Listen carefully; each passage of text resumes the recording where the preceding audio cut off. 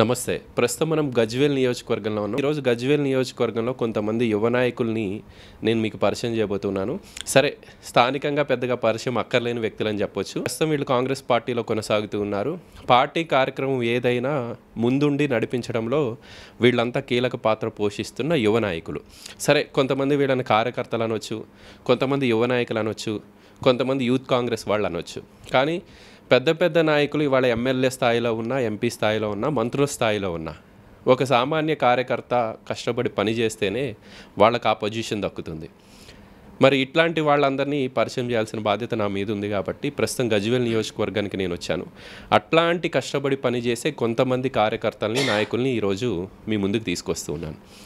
MP ఎన్నికలు అయిపోయినాయి తెలంగాణ రాష్ట్రంలో. ఆ ఎంపీ ఎన్నికల్లో కూడా కాంగ్రెస్ పార్టీ అభ్యర్థి మెదక్ నుంచి నీలం మధు ఉండటంతో ఆయన గెలిపించడం కోసం వీళ్ళంతా గల్లీ గల్లీకి వెళ్ళారు. ఇంటింటికి వెళ్ళి ప్రతి డోర్ కొట్టి మా కాంగ్రెస్ పార్టీకి ఒక అవకాశం ఇవ్వండి మా అభ్యర్థికి ఒక అవకాశం ఇవ్వండి అని చెప్పి చెప్తున్నారు. సరే ప్రభుత్వం అధికారంలో ఉంది.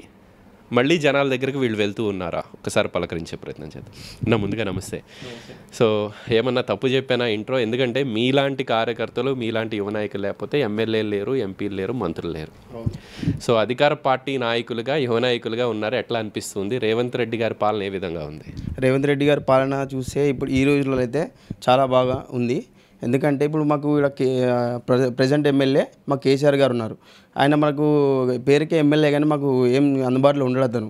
కాంగ్రెస్ ప్రభుత్వం వచ్చింది కాబట్టి మాకు ఎల్లవెల్లలా మనకు కాంగ్రెస్ పార్టీ మనకు అండగా ఉంటుందని మేము అనుకుంటున్నాం మేము. రేవంత్ రెడ్డి గారు ఉన్నారు కాబట్టి మాకు సపోర్ట్ ఉంటుంది. మాకు యూత్ కాబట్టి మేము మన యూత్ కాంగ్రెస్ తరఫున కూడా మేము ప్రచారం చేసినాం. మా క్యాండిడేట్ మనకు సిద్దిపేట డిస్టిక్ నుంచి అనిరెడ్డి గారు నిలబడ్డారు కాబట్టి ఆయన కూడా సపోర్ట్ చేసినాం. ముందు ముందు కూడా యువత ముందుకు రాజకీయంగా ముందుకు వస్తుందని మేము భావిస్తున్నాము. అంటే ఇప్పుడు మీరు ఒక విషయాన్ని లేవనెత్తారు.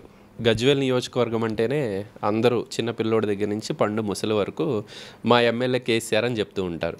కేసీఆర్ నియోజకవర్గంలో కూడా అధికార పార్టీ నాయకులుగా లేకపోతే యువ నాయకులుగా కార్యకర్తలుగా మీరు తలెత్తుకొని తిరిగే పరిస్థితులు ఉన్నాయి.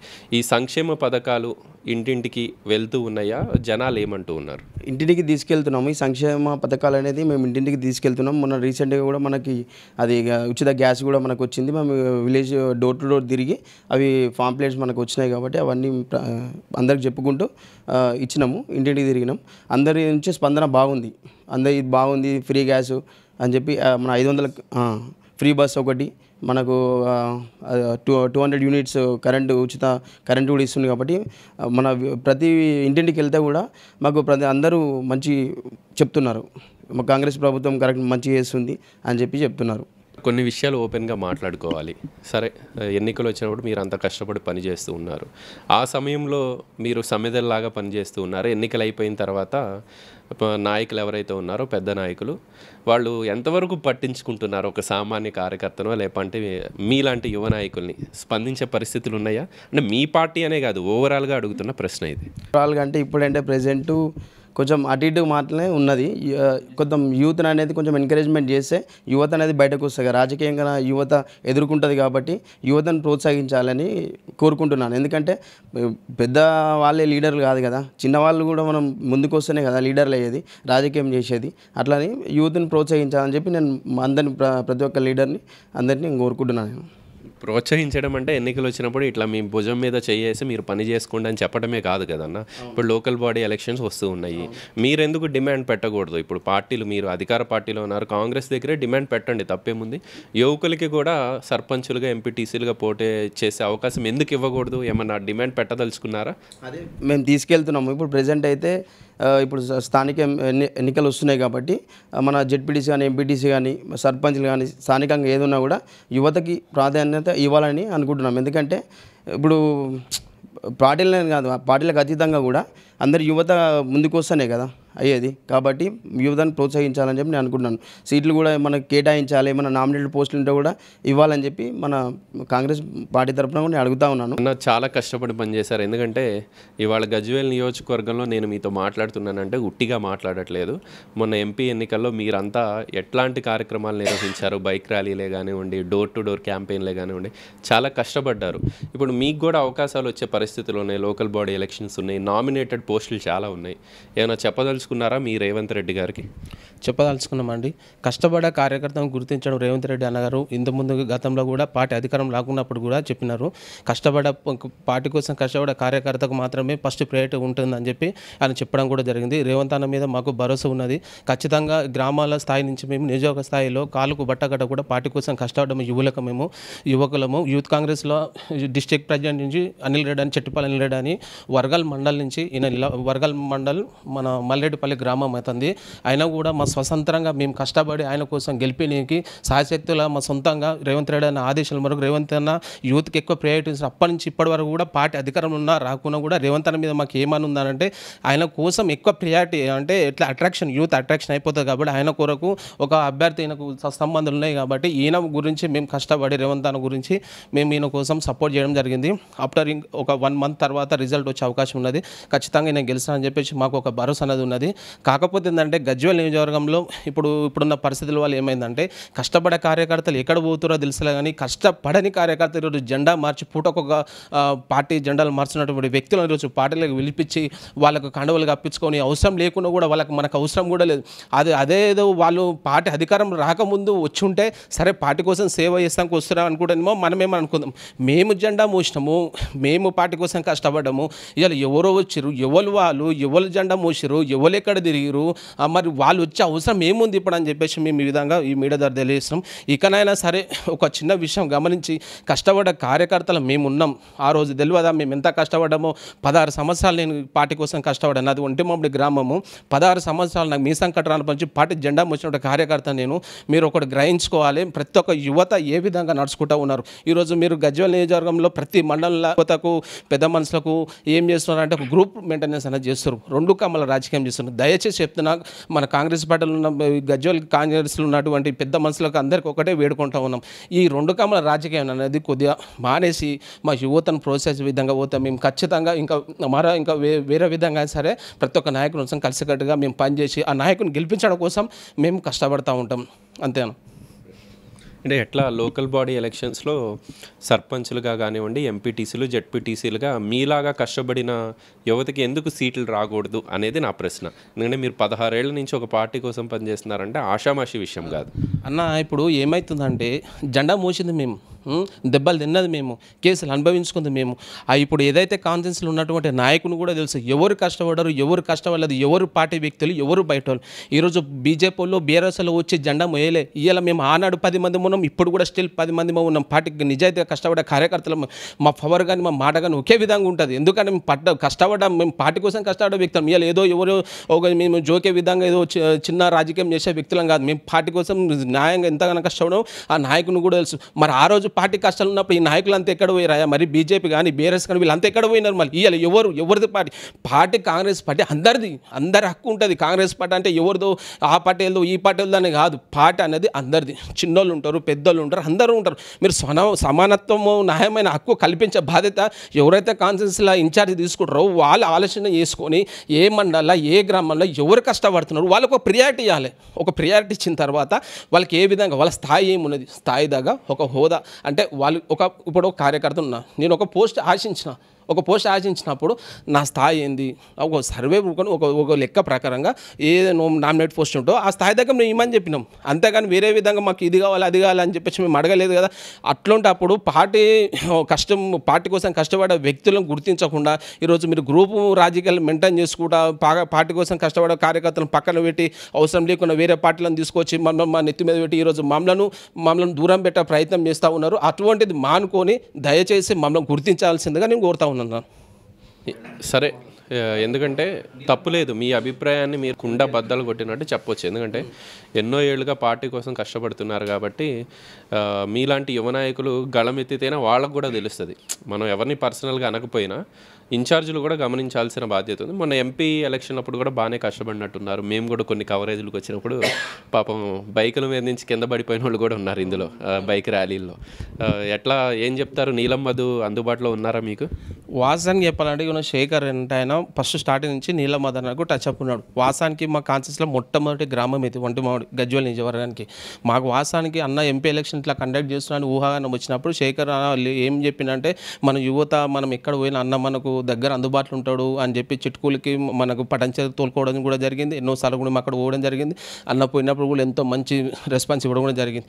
అయితే మేము ఎంపీ ఎలక్షన్లలో మేము ఎంత పార్టీలకు అతీతంగా ఎంతవరకు అయితే ఇప్పుడు బీసీ కులగానే ఇప్పుడు ఎంతమంది అంతమందిని మేము తీసుకొని పార్టీలకు అతీతంగా యువకులను బైక్ రాలే కానీ ఎక్కడ సభలు పెట్టినా కూడా రాత్రి బావులు రాత్రి రెండు గంటలకు మూడు గంటలకు కూడా మేము కష్టపడి నీలమదన గెలుపు కొరకు మేము కష్టపడి పనిచేసినాం. కానీ కొంతమందిలో దురా ఉద్దేశంతో కావాల్సుకొని నీలమదనని అందరూ ఏకపక్షంగా ఎ- మొత్తం ఒకటైపోయి ఆయనను ఓడగొట్ట ప్రయత్నించిన ఆయన నైతికంగా ఓడిపోలేదు. ఖచ్చితంగా ఆయన గెలుపు అనే విధంగా ఈ మనకు మెదక్ సెగ్మెంట్లో మీరు ఒకటి ఆలోచించుకోవాలి. ఎంపీ ఎలక్షన్లలో ఐదు లక్షల ఓటాలు ఐదు లక్షల ఓటాలు వేసినట్టు ఆశమాజు ఇప్పుడు స్టిల్ ఒక ముప్పై ఏళ్ళ రాజకీయ నాయకులు చేసిన ఒక ఇప్పుడు నిలబడ కూడా ఐదు లక్షల ఓట్లు పడాయి. ఆ విషయం కూడా గుర్తుంచుకోవాలి. నీలమదన్ అనే అంటే ఆయన ఎప్పుడు కూడా ఒక కులానికి మాత్రము ఒక నాయకుడు కాదు. నీలమదన్ అంటే ఆయన బడి ప్రతి ఒక్క కుల కులాసులు ఉంటారు. బీసీ ఉంటారు గౌడ్స్ ఉంటారు యాదవ్స్ ఉంటారు మైనార్టీ ఉంటుంది క్రిస్టియన్ ఉంటుంది. ప్రతి ఒక్క కులాసుడు ఈరోజు ఆయన కోసం ఆయన వెనకాల ఉంటారు. అది మాత్రం గుర్తించుకోవాలి. ఎప్పుడు ఆయన ఒక కులానికి ఓ జాతికి అంకితం చేసిన విధంగానే మీద బురద జల్ల ప్రయత్నం వేరే పా- పార్టీలో కానీ పార్టీలో ఉన్నారో లేరో మనకైతే తెలియదు కానీ ఆయన మీద బురద జల్ల ప్రయత్నం చేస్తే మాత్రం దయచేసి మానుకొని ఆయన ఎంబడి ఎవరన్నా ఫస్ట్ అది ఒకటి గమనించుకోవాలి. ఆయన ప్రతి ఒక్క కులానికి ప్రతి ఒక్క మతానికి ఆయన గౌరవించే విధంగా ఆయన ఉంటాడు. కాకపోతే ఈయన మేము అందరం దగ్గర ఒక పదిసార్లు ఆయన దగ్గర పోయినాం కాబట్టి ఆయన ఎప్పుడు అయినా సరే ప్రతి ఒక్క కులాసుని ప్రతి ఒక్క మతాన్ని ఆయన గౌరవిస్తాడు కాబట్టి ఆయన మీద మా అభిమానం ఉన్నది. ఖచ్చితంగా రాబోయే కాలంలో రేవంత్ అన్న మీద కూడా మాకు ఒక అభిమానం ఉన్నది. రేపు పొద్దున రాబోయే కాలంలో కష్టపడ్డాడు. ఆయనకు ఒక ఐదు లక్షల ఓట్లు వచ్చినాయి. రేపు పొద్దున రాబోయే కాలంలో కూడా ఏమైనా గొప్ప అవకాశం నీలమదనకు వచ్చే అవకాశం ఉంటుందని చెప్పేసి మేము ఒక ఆశిస్తున్నాం. ఒక కార్యకర్తలుగా దయచేసి ఇవ్వాలని చెప్పేసి మేము కోరుకుంటున్నాం యూత్ పక్షాన. నీలం మధు గారు స్పందిస్తున్నాడా? అందుబాటులో ఉన్నాడా ఇప్పుడు? ఒకటి చెప్పాలంటే నాకు అయితే అన్నలాంటోడు అతను. నీలం మాధవ్ అంటాడు నాకు అన్న లాంటాడు. అన్న అంటే నేను ఉన్నాను ప్రతిదానికి ముందుండా అంటాడు. ఏమున్నా ఏం ఎప్పుడంటే ఇప్పుడు ఫోన్ చేయమని చెప్తాడు. ఏమైనా ప్రాబ్లం ఉంటే కూడా నేను సాల్వ్ చేస్తాను అని చెప్తాడు. అతను ఇక మనకు అన్నలాంటి నాకైతే. ఎందుకంటే ఇప్పుడు నేనైతే ఫస్ట్ ఆఫ్ ఆల్ నాకు ఇన్స్పిరేషన్ నీలం మదన్ అని. ఎందుకంటే ఆయన ఆయన చూసుకొని నేను బయటకు వచ్చాను. ఎందుకంటే మనం ఆయన ఇన్స్పిరేషన్ తీసుకొని మన యూత్ అనేది బయటకు వస్తేనే కదా అన్నీ చేసేది. కాబట్టి నాకు ఇన్స్పిరేషన్ నీలం మదన్ అనే. ఆయన కోసం నేను చాలా కష్టపడ్డా. ఒకటే కాన్సెన్స్ కాదు సిద్దిపేట్ దుబ్బాక నర్సాపూర్ అన్ని నేను కాన్షియన్స్ కవర్ చేసిన. ఆయన చూసి ప్రతి ఒక్క యూత్ కూడా ఆయనకి ఇన్స్పిరేషన్గా అందరు బయట అన్నని చూసి మాత్రం బయటకు వచ్చారు ఎందుకంటే అన్న లాంటి వాళ్ళు ఉంటే మనకి మనం కూడా ముందుకెళ్తాం రాజకీయంగా అని చెప్పేసి ఆ అన్నని చూసి చాలామంది బయటకు వచ్చారు యువత. అలాగే అన్న కూడా మాకు ఆ యువతను కాపాడుకుంటా అని చెప్పిండు. ముందు ముందు అన్నకు మంచి పొజిషన్ ఉంటుంది. ఉండాలని ఆ దేవుడిని ప్రార్థిస్తున్నా. మంచి పొజిషన్లో ఉండాలి. అనేది అన్న తెల ఇప్పుడు ప్రజెంట్ చెప్తున్నా. తెలంగాణ వ్యాప్తంగా నీలం మద అంటోడు తెలుగు అంటాడు ఎవ్వరు ఉండరు. నీలం మద అంటే ప్రతి ఒక్క యువతకి ప్రతి ఒక్కరికి నీలం మద అంటాడు తెలుసు కంపల్సరీ. అదేవిధంగా అదే స్ఫూర్తితో ఒక అన్న ముందుకెళ్ళాలని నేను కోరుకుంటున్నా. ఎందుకంటే అన్న అన్నాటనే ఉన్నాడు ఇక అంతే. ఆయన ఏం చెప్పాలి ఆయన గురించి నేను పెద్ద చెప్పలేను. ఎందుకంటే అది అభిమానం అంతే ఇక మాది. ఇంకొకటి సరే. నాయకులు అందుబాటులో లేని వాళ్ళని లేరు అని చెప్తాము. జనాల్లో ఏమీ సేవా కార్యక్రమాలు చేయలేదు అని చెప్పి మనం బాహాటంగానే చెప్తాం. నేనైతే అట్లనే చెప్తా. చేసిన వాళ్ళని కూడా మనం గుర్తుపెట్టుకోవాలి. మీ గజ్వేల్ నియోజకవర్గంలో కూడా చాలామందికి నీలమధు హెల్ప్ చేశాడు అనేది ఎన్నో వార్తలు వచ్చినాయి. మీ నియోజకవర్గానికి సంబంధించి ఇద్దరు పిల్లలకి అనాథ పిల్లలకి వాళ్ళ తల్లిదండ్రులు చనిపోతే ఆ- కవరేజ్కి నేను వచ్చాను. రెండు లక్షల రూపాయలు అక్కడికక్కడే ఇచ్చారు. ఇట్లా చాలా జరిగినట్టు జరిగినట్టున్నాయి. చాలా జరిగినాయి. ఇప్పుడు అప్పుడు అన్న అప్పుడు ఎంపీకి ఎలక్షన్స్ ముందు అనుకోవడం నాకు తెలిసి ప్రెసెంట్ అది. ఎలక్షన్స్ ముందు అయితే వాళ్ళ ఫాదర్ మామ్ ఇద్దరు చనిపోయారు అప్పుడు. చనిపోతే వెంటనే అన్న తెలుసుకుండు. తెలుసుకోగానే వెంటనే అక్కడికి వచ్చి కొలుగురు విలేజ్ అది. కొలుగురు విలేజ్ అది. వెంటనే తెలుసుకుని అన్న వచ్చి టూ ల్యాక్స్ ఇవ్వడం జరిగింది వాళ్ళ కోసం. ఎందుకంటే వాళ్ళ ఇప్పుడు చిన్నప్పుడు చిన్న పిల్లలు కాబట్టి వాళ్ళకి ఆర్థికంగా సహాయం ఉండాలని చెప్పి వాళ్ళకి టూ ల్యాక్స్ ఇవ్వడం జరిగింది. అలాగే మన రీసెంట్గా కూడా మన దమ్మాకపల్లి సంథింగ్ అది మన గజ్వల్ కాన్సెప్ట్ దమ్మాకపల్లి అక్కడ ఒక రైతు పాయిజన్ తీసుకోవడం జరిగింది. అనివార్య కారణాల వల్ల తీసుకోవడం జరిగింది. వెంటనే తెలుసుకున్నా నాకు అన్న దగ్గర ఉన్నాను ప్రజెంట్ అప్పుడు. నేను అన్న దగ్గర ఉంటే అన్న నాకు పిలిచి చెప్పిండు. శేఖర్ నేను రేపు గజ్వల్కి వస్తున్నా నేను మన హాస్పిటల్కి ఇట్లా ఇన్సిడెంట్ ఏంటంటే అంటే సరే అన్న నువ్వు పొద్దునరా నేను అందరిని మనల్ని మన వాళ్ళు అనుకుంటాను హాస్పిటల్కి వెళ్దాం తెలుసుకుందాం అన్న. నాకు కూడా తెలియదు కదా నేను నీతో అని చెప్పి నేను మాట్లాడినప్పుడు. ప్రెజెంట్ అప్పుడు మాట్లాడినప్పుడు చెప్పిండు. నెక్స్ట్ డే మళ్ళీ పొద్దున్న నిలవగానే అతన్ని షిఫ్ట్ చేసిరు వేరే హాస్పిటల్ నిమ్స్కి అక్కడ షిఫ్ట్ చేస్తే అన్న వెంటనే మళ్ళీ ఫోన్ చేసి మనల్ని ఇక్కడ షిఫ్ట్ చేసినట్టుగా అక్కడనే వెళ్తున్నామంటే మనం తెలుసుకొని మేము ఇక్కడ నుంచి వెళ్ళాం. అక్కడ వన్ ల్యాక్ రూపీస్ సాయం చేయడం జరిగింది అన్న. నేను చూసిన నా కళ్ళ ముందు చూసిన. అలా చాలా చేసిండు అన్న. ఎన్నో గుడ్ల కానీ ప్రతిదానికి అన్న చాలా చేసిండు. అంతే చేస్తాడని చెప్పి అందరికీ నమ్మకం ఉంది అన్న మీద. ముందు ముందు ఆయన ముందు మంచి పో- స్థాయిలో ఉండాలని చెప్పి అందరు ఆ దేవుని ప్రార్థిస్తున్నాను నేనైతే. సీఎం రేవంత్ దృష్టికి ఏమైనా తీసుకువెళ్ళదలుచుకున్నారా? ఇక్కడ స్థానిక సమస్యలే కానీ మీలాంటి యువకులకి న్యాయం జరగాలని ఏమైనా చెప్పదలుచుకున్నారా? ప్రజెంట్ సిచ్యువేషన్ అయితే యువతను కొంచెం పట్టించుకోవడం ఎవరైతే లేదు. ఇప్పుడైతే ఇది సీఎం ముఖ్యమంత్రి దృష్టికి వెళ్తానని అనుకుంటున్నాను. ఆయన కూడా కొంచెం మా కాన్షియన్స్ మీద దృష్టి పెట్టి ఎవరు ఎంత కష్టపడడం చాలామంది ఉన్నాం మేము యూత్. వాళ్ళందరి మీద కార్యకర్తలం ఉన్నాం అందరం ఉన్నాం. వాళ్ళందరి మీద దృష్టి పెట్టి వాళ్ళకి నామినేటెడ్ పోస్టులు కానీ స్థానికంగా ఏది ఉన్నా కూడా వాళ్ళకి కల్పించాలని చెప్పి ముఖ్యమంత్రి గారిని కూడా కోరుతున్నాం మేము. ఎందుకంటే యూతే కదా ఇప్పుడు ఇన్స్పిరేషన్ యూత్ ముందుకెళ్ళాలి కదా. అలాంటప్పుడు యూత్ని ఎంకరేజ్మెంట్ చేస్తాను పార్టీ కూడా బతుకుతుంది కదా మన కాంగ్రెస్ పార్టీ అనేది యూత్తోనే మెయిన్ యూత్ అనేది ముందుకెళ్ళింది కాబట్టి కాంగ్రెస్ పార్టీ బతుకుంది. ఇప్పుడు యూత్తోనే అది అన్ని కాబట్టి వాళ్ళు పెద్ద పెద్ద పెద్ద మనుషులకు పెద్ద ఉంటుంది. పెద్ద పెద్దదనే మరి చిన్న యూత్ కూడా కొంచెం ప్రోత్సహిస్తే పార్టీ కూడా బతుకుతుందని నేను ఆశిస్తాను. ముఖ్యమంత్రి దృష్టికి తీసుకెళ్తారని నేను మీ మీడియా ముఖంగా తెలియజేస్తా ఉన్నాను. ఇప్పుడు గజ్వేల్ కాన్స్టెన్సీలో నాలుగు గ్రామాలు కొండపోచమ్మ సాగర్ భువనరస్వతులూరు మల్లన సాగర్ భువనరస్వతులూరు. కాకపోతే గజ్వేల్ కాన్స్టెన్సీలో లాస్ట్ టైం రేవంత్ అని వచ్చినప్పుడు ఖచ్చితంగా వాళ్ళకి అండగా నిలుస్తా అని చెప్పేసి ఆయన ఒక మాట ఇవ్వడం జరిగింది. మా పక్క గ్రామం ఒంటిమాడ గ్రామం పక్క ఉండే ఆర్ అండ్ కాలనీ అని చెప్పేసి ఒక నాలుగు గ్రామాలు తీసుకొచ్చి ఇక్కడ పెట్టడం జరిగింది. కాకపోతే వాళ్ళకు ఎటువంటి సమస్య ఒక గుడి లేదు వాళ్ళకు ఒక బడి లేదు ఉందామంటే ఇల్లు చక్కగా లేవు. ఎవరు ఒక మనిషి చనిపోతే వాళ్ళను చనిపోయిన శవాలను తీసుకో ఎక్కడ పెట్టాలని కూడా జాగా ఒక జాగా అనేది కూడా లేదు. అటువంటి వ్యక్తులకు మాకు స్పెషల్ కేటగిరీ కింద మా ఈ భూనిర్స్వతులు మల్లన సాగర్ భూనిర్స్వతులు కానివ్వండి మళ్ళీ కొండపోచమ్మ భూ భూనిర్స్వతులు కానీ వాళ్ళకు ఒక స్పెషల్ ప్యాకేజ్ కింద మా గజ్వేల్ కాన్స్టిట్యూన్సీ ముఖ్యమంత్రి గౌరవ ముఖ్యమంత్రి గారు కొద్దిగా దృష్టి సాధించి వాళ్ళను మెయిన్ ముఖ్యంగా మెజర్ ప్రాబ్లం అనేది మా గజ్వేల్ కాన్స్టిట్యూన్సీలో ఈ నాలుగు గ్రామాలు అక్కడ ముంపు గ్రామాలు పన్నెండు గ్రామాలు పై మాట ఉన్నాయి. వాళ్ళని ఆదుకోవాల్సిందిగా యువత యువకుల పక్షాన యూత్ కాంగ్రెస్ పక్షాన మేము గౌరవ ముఖ్యమంత్రి గారిని వేడుకుంటూ ఉన్నాం ఇది ఓవరాల్గా గజ్వేల్ నియోజకవర్గానికి సంబంధించి కొంతమంది యువ నాయకుల్ని నేను మీకు పరిచయం చేసే ప్రయత్నం చేశాను. కేవలం వీళ్ళు మాత్రమే కాదు ఇట్లా కష్టపడి పార్టీ కోసం పనిచేస్తున్న వాళ్ళు చాలామంది ఉన్నారు. కొంతమందిని మనం చూపిస్తూ ఉన్నాము. వీళ్ళందరూ కోరుకునేది ఒకటే గజ్వేల్ నియోజకవర్గం అంటే అందరూ కేసీఆర్ అంటారు. కానీ ఈ గజ్వేల్ నియోజకవర్గంలో కూడా మొన్న లోక్సభ ఎన్నికల్లో కాంగ్రెస్ పార్టీ ఏ విధంగా ఓట్ల శాతాన్ని పుంజుకోగలిగింది అనేది వీళ్ళు కళ్ళకు కట్టినట్టు చూపించారు. వీళ్ళంతా కష్టపడి పనిచేశారు జెండాలు కట్టారు ర్యాలీలు చేశారు. ఇంటింటికి వెళ్ళి కాంగ్రెస్ పార్టీకి ఒక అవకాశం ఇవ్వండి ఎంపీ అభ్యర్థిని గెలిపించండి అని చెప్పి వీళ్ళంతా అడిగిన వాళ్ళే. కొంతమంది ఇప్పుడు ఇక్కడ లేకపోవచ్చు. ఇట్లా చాలామంది కష్టపడిన వాళ్ళు ఉన్నారు. కష్టపడిన కార్యకర్తల్ని కష్టపడిన యువ నాయకుల్ని గుర్తించి రేపు రాబోయే రోజుల్లో నామినేటెడ్ పదవులు రాబోతున్నాయి అని చెప్పి వార్తలు వస్తున్న నేపథ్యంలో ఎవరి స్థాయికి తగినట్టు వాళ్ళని ఎవరైతే ఏళ్ళ తరబడి కష్టపడుతున్నారో వాళ్ళందరికీ న్యాయం చేయాల్సిన బాధ్యత ఇక్కడున్న గజ్వేల్ ఇన్ఛార్జ్గా ఉన్న నర్సారెడ్డి గారి మీద ఉంది నీలం మధు గారి మీద ఉంది. అట్లానే పార్టీ పెద్దలు ఎవరైతే ఉన్నారో వాళ్ళందరి మీద ఉంది అని చెప్పి వీళ్ళు వీళ్ళు వీళ్ళంతా గుర్తు చేస్తూ ఉన్నారు. అండ్ ఇంకొక విషయాన్ని కూడా గమనించాలి. కొండా సురేఖ గారు ఎంపీ ఎన్నికల సమయంలో అన్ని నియోజకవర్గాలు తిరిగారు. ఇట్లాంటి యువకులకి చాలామందికి భరోసా ఇచ్చారు. కష్టపడి పని చేయండి కష్టపడిన వాళ్ళకి గుర్తింపు తగ్గుతుంది అని చెప్పి. మేడం కూడా స్పందించాల్సిన అవసరం ఉంది. ఇప్పుడు రేపు రాబోయే రోజుల్లో నామినేటెడ్ పదవులే కానివ్వండి లోకల్ బాడీ ఎలక్షన్స్ వస్తున్నాయి. ఎందుకు వీళ్ళ వీళ్ళు ఎవరైతే ఉన్నారో అందరూ యువ నాయకులు థర్టీ బిలోనే ఉన్నారు. వీళ్ళు ఎందుకు సర్పంచ్లు కాకూడదు? వీళ్ళు ఎందుకు ఎంపీటీసీలు కాకూడదు? వీళ్ళు ఎందుకు జెడ్పీటీసీలు కాకూడదు? అనేది వాళ్ళ అభిప్రాయంగా తెలుస్తుంది. ఖచ్చితంగా ఇట్లాంటి వాళ్ళకి టికెట్లు ఇచ్చి నర్సారెడ్డి గారైనా నీలం మధు గారైనా గెలిపించాల్సిన అవసరం బాధ్యత ఉంది. ఎందుకంటే మీ ఎన్నికలు వచ్చినప్పుడు పాపం వీళ్ళే అన్ని కార్యక్రమాలు నడిపించారు. అంటే వీళ్ళంటే వీళ్ళు మాత్రమే కాదు చాలామంది కష్టపడ్డారు. వీళ్ళందరినీ ముందుకు తీసుకెళ్ళాల్సిన బాధ్యత నర్సారెడ్డి గారి మీద ఉంది. అట్లనే నీలం మధు మీద ఉంది. ఇన్ఛార్జ్ మంత్రిగా ఇక్కడికి వచ్చి చాలా హామీలు ఇచ్చిన కొండ సురేఖ గారి మీద ఉంది. పొన్నం ప్రభాకర్ కూడా ఆయన కూడా కొంత దృష్టి పెట్టాల్సిన అవసరం ఉందని చెప్పి ఇక్కడ ఉన్న నాయకులంతా చెప్తున్నారు. ఇక్కడ ఉన్న వాళ్ళంతా బీసీ నాయకులు బడుగు బలహీన వర్గాల నుంచి వచ్చిన నాయకులు.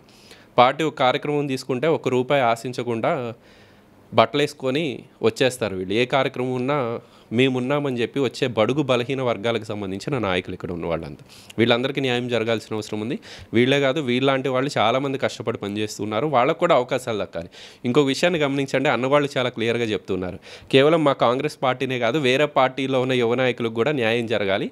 వాళ్ళ వాళ్ళ పార్టీల వాళ్ళు టికెట్లు ఇవ్వాల్సిన బాధ్యత ఉందని చెప్పి అన్నవాళ్ళు చెప్తూ ఉన్నారు సో నర్సారెడ్డి గారు దృష్టిలో పెట్టుకోవాలి. అన్న మీరే ఇన్ఛార్జిగా ఉన్నారు కాబట్టి మీ అమ్మాయి యూ యూత్ కాంగ్రెస్ నుంచి రాష్ట్ర అధ్యక్షురాలుగా పోటీ చేశారు కాబట్టి ఆంక్షారెడ్డి గారు కూడా. ఇట్లాంటి వాళ్ళందరినీ మీరు దగ్గరికి తీసుకోవాలి. అవసరమైతే మీరే సీఎం దృష్టి దగ్గర సీఎం దగ్గరికి వీళ్ళందరినీ తీసుకెళ్ళాల్సిన అవసరం కూడా ఉంది. సో చూద్దాం ఏం జరగబోతుంది రాబోయే రోజుల్లో అనేది ఖచ్చితంగా భవిష్యత్ నిర్ణయించాల్సి ఉంటుంది. వీడియో జర్నలిస్ట్ సంజీతో గోపికృష్ణ న్యూస్ సిక్స్టీన్ గజ్వేల్ నియోజకవర్గం